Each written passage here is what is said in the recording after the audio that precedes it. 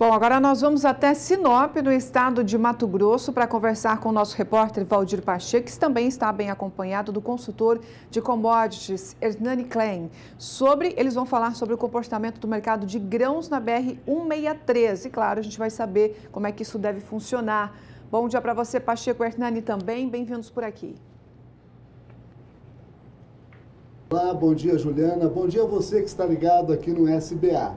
É isso aí, Juliana. Eu tenho o prazer de receber aqui no estúdio Hernando Klein, que é um consultor de commodities e vai nos falar agora do cenário de comercialização da soja aqui no estado de Mato Grosso.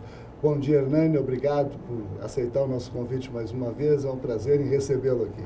Bom dia, Pacheco. Bom dia, Juliana, amigos que nos assistem no SBA. Como é que está o cenário da comercialização da soja nesse primeiro período aí do ano de 2019, Bom, Pacheco, o mercado para soja, é, estimamos aí que está em torno de 46% comercializado já, né, da safra.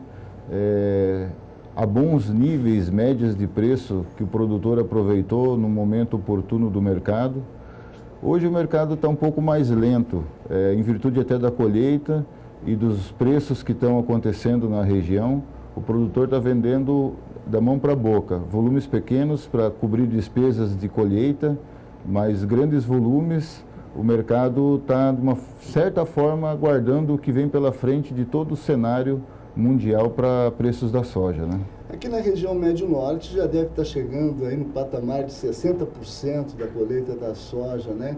E foi uma safra tranquila, sem nenhum registro de alguma incidência de climática, pragas. É, em termos de desenvolvimento da colheita, uh, nós tivemos um cenário climático bastante favorável, né? O mês de janeiro aí propiciou, o produtor conseguiu colher sem grandes problemas com relação à chuva, né? Isso foi, fez com que tivesse uma safra, eh, vamos dizer assim, sem problemas de qualidade e agora no restante da safra a ser colhida ainda, é, vamos ver o que, que vem de previsão de, de tempo, de chuva pela frente aí. É, a chuva é uma preocupação aí com a ferrugem asiática, né? Esse período de fevereiro, março, normalmente chove bastante, né? Sim, é um, é um, é uma, é um período preocupante, é, mas como a safra antecipou bastante esse ano, é, o residual de lavoura que vai ter com esse risco é bem menor. E o produtor também está bem precavido com relação aos tratamentos de, eh, de fungicidas para controlar a ferrugem. Tá, o que é comum aqui, na medida que está sendo colhida a soja, já estão plantando a segunda safra com milho e algodão também, né? Como é que está o cenário, a expectativa para o milho, né? Bom, o milho está eh, sendo plantado agora, conforme está sendo colhida a safra de soja, é, em termos climáticos, a gente tem essa expectativa. É, esse fim de semana choveu na nossa região. Eu tenho conversado com o pessoal lá de Nova Mutum também. Choveu, parece-me que toda a BR-163. Mas tinha essa preocupação, algumas regiões com mais de 20 dias sem chuva. E isso, de certa forma, impacta no desenvolvimento da cultura do milho. Em termos de comercialização, a nossa região BR-163 tem um diferencial muito grande com relação a liquidez do milho por parte da própria indústria, né, as usinas de etanol que estão se instalando na região, e isso ajuda muito na definição de preço para o produtor. Essa definição de mercado vai ser muito importante, né? Pelo menos o produto já fica por aqui, já é beneficiado aqui mesmo. Isso, dá uma liquidez, é, um certo conforto, vamos dizer assim, por uma boa parte da produção do milho da região.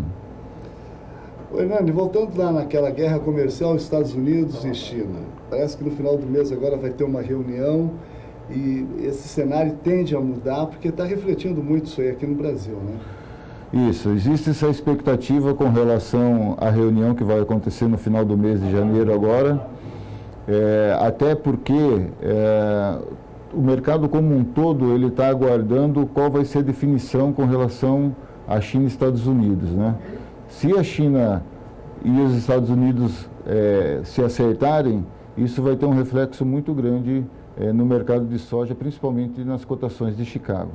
E outra coisa, com essa paralisação do governo americano também, é, o USDA, que é o Departamento de Agricultura dos Estados Unidos, não tem soltado o relatório, né? Isso aí também é uma outra. Fica muito na incerteza, né? Isso. É, de uma forma geral, o mercado de tradings mundial ele está trabalhando com dados de uma certa forma é, defasados, que são os dados que saíram no último relatório. O relatório previsto para janeiro não aconteceu, o USDA, em virtude da paralisação é, dos órgãos públicos nos Estados Unidos, e agora tem uma previsão para o dia 8 de fevereiro ter um novo relatório. Então, o mercado como um todo, é, a gente sabe que as informações elas circulam, né? as inspeções de exportação dos Estados Unidos conseguem ser vistas. O mês de janeiro, semana passada, um milhão de toneladas, uh, os Estados Unidos acabou exportando, mas é um relatório que impacta grandemente no cenário de preços, nas cotações de preços lá em Chicago. Então, tá todo, o mercado como um todo está aguardando é, que se encerre esse shutdown que falam lá nos Estados Unidos para poder voltar a operacionalizar melhor as informações, principalmente para o agro. Beleza. Nós temos aqui na região norte do Mato Grosso, o Mato Grosso todo tem um problema sério com o escoamento da produção, né? E grande parte dessa produção sai aqui por Miritituba, quer dizer, no norte do, do, do Mato Grosso, indo ao Pará, até Miritituba, no Pará. Como é que está o escoamento? Ali tem um trecho ali de 100 quilômetros aproximadamente que está sempre tendo atoleiro nesse período de escoamento. Como é que está esse período agora, né? As informações que nós temos para o momento, Pacheco, é que está de uma certa forma tranquilo. O escoamento está acontecendo, é, existe uma pressão de escoamento agora no mês de janeiro, é, mas está tranquilo. Até agora não tivemos nenhum problema com relação à paralisação nesses trechos complicados aí. E parece que o governo federal já anunciou que vai terminar esse asfalto nessa, nesse trecho ali de 100 É, o que esperamos aí, né, Pacheco? ok, Hernani, muito obrigado mais uma vez aí Eu pela sua participação, ok? Obrigado. Acabei de conversar com Hernani Klein, consultor de commodities, fazendo uma panorama da comercialização de grãos aqui na região norte do Mato Grosso. Voltamos aos nossos estudos em Campo Grande, Juliana.